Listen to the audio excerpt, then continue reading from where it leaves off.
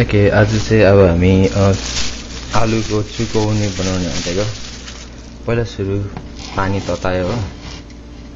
पानी बसाल्यो अन्त त्यसमा आलु हाल्नुपर्छ। आलु किनेर आलुलाई जहिले पनि काट्दाखेरि काट्दा होइन यसरी पुरै काट्ने होइन तर वरिपरि धर्का मात्रै बस्नु गरेर यसरी यसरी यहाँ अलिक देखेन। बिचबाट यहाँ मसिनो काटेर हाल्यो भने पछि उसिन्दाखेरि मजाले बोक्रा फालात्त फालात्त सजिलै निस्किन्छ यसलाई काट्दाखेरि ए, धेरै गहिरो काट्नु पनि होइन तर यसरी यहाँ डाम बस्ने हिसाबले पछि आलु फ्यात्त निस्कियोस् फ्यात्त निस्कियोस् भनेर त्यसरी काटेर पानीमा हाल्ने।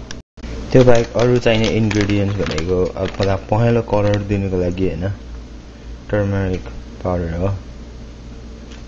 अन्त छ भने सुक्खा खोर्सानी होइन? अन्त मेथी सिड्स फेनुग्रिक सिड्स त्यो हो त्यो बाहेक नुन चाहियो। पछि दही। योगर्ट दही होइन। दही पछाडि अर्को प्याज निम्बु हो। निम् निम्बु छैन भने लेमन यो जुस युज गर्दा पनि हुन्छ धेरै होइन तर अलिअलि। अन्त त्यति हो चाहिने सामान। आलु कतिको पाकेको छ छैन त्यो चेक गर्नुको लागि चाहिँ होइन काँटाले। यसो घोचेर हेर्नुपर्छ क्या। कडा छ भने चाहिँ पाकेको छैन होइन। अलिक सत्ता सत्ता मजाले हल्का हल्का गर्दा पनि सुत्तो सुत्तो काँडा छिर्नु थाल्यो भने चाहिँ अब आलु पाक्यो भनेर निकाल्ने हुन्छ है। सो बेसिकली आलु ठिक्कको पाकेको छ कि छैन चलाउनुलाई काँटाले घोच्ने हो। अन्त यस्तो माथि उन्चाल उठाउँदा फ्यात्त झऱ्यो भने त्यो ठिक्कको आलु भइसक्यो क्या। हो घोल्ने बित्तिकै तल झरिहाल्छ नि यी। भयो भने आलु रेडी भयो आगो मार्दा हुन्छ अन्त अब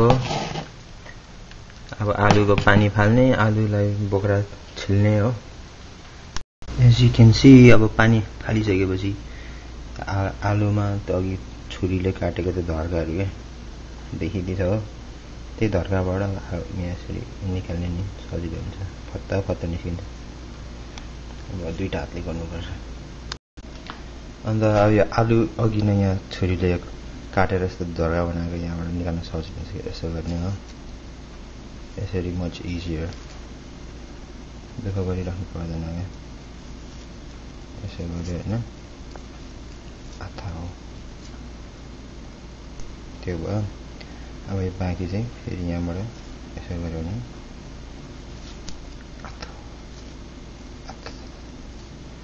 यसो गऱ्यो भने सजिलै छिलिन्छ धेरै मैला हुँदैन।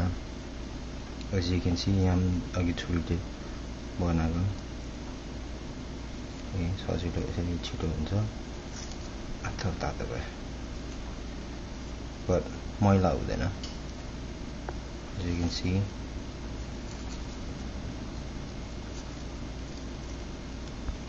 आलु उसिनिसकेपछि बोक्रा छिलिसकेपछि यसलाई सानो छुरीले सट्ट काट्ने हो। अन्त अब बाह्र खरर साइज साह्रो मसिनो गर्दा पनि हुन्छ यत्रो गऱ्यो भने ठिकै हुन्छ होला।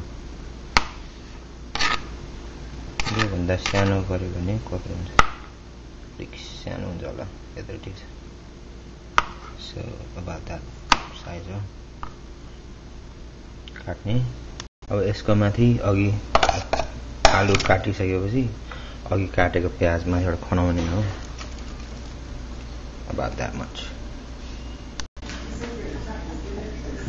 अन्त त्यसको माथि अब नुन खनाउने होइन धेरै होइन ठिक्कको नुन अन्त त्यसपछि टर्मरिक पाउडर अघिको।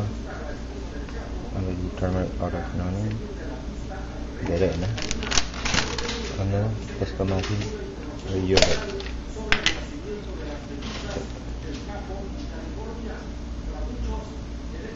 चमचे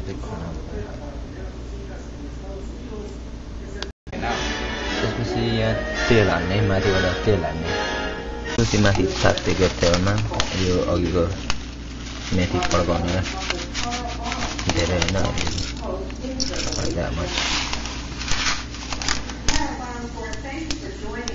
मेथी कालो कालो डढ्न थालेपछि एक दुईवटा खुर्सानी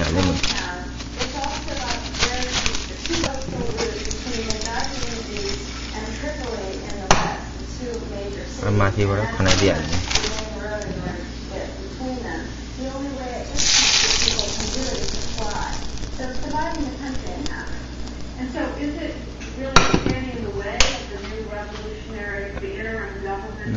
अब मोल्नुपर्छ यसरी तयार हुन्छ चुकनी प्रियङ्का बहिनीलाई चाहिँ धेरै धेरै धन्यवाद है यो रेसिपी सिकाइदिएकोमा Smells so good.